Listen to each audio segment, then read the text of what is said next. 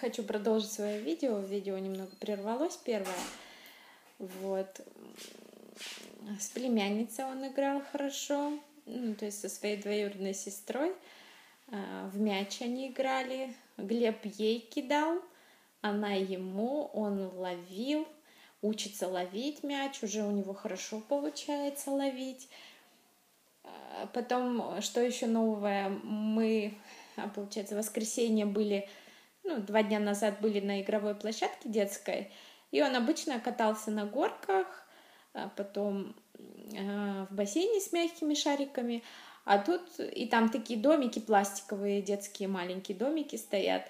И он первый раз э, в жизни вообще обратил внимание на эти домики, открыл дверь, зашел туда, посмотрел, что там такое, я ему показала, что там кухня, допустим, можно готовить, там кран э, игрушечный. В общем, проявил интерес вот к этим домикам.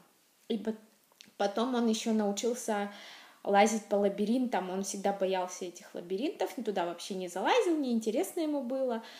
А тут ему стало интересно, и я ему показала, как туда пролазить.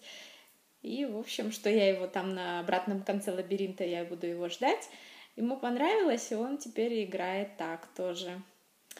И э, он перестал бояться кататься на каруселях. Э, ну, такие детские карусельки. Вот он с удовольствием на них теперь катается.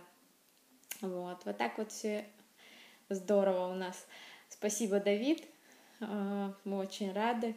Будем продолжать лечение. Надеемся на дальнейшее лечение. Спасибо вам огромное. Всем пока.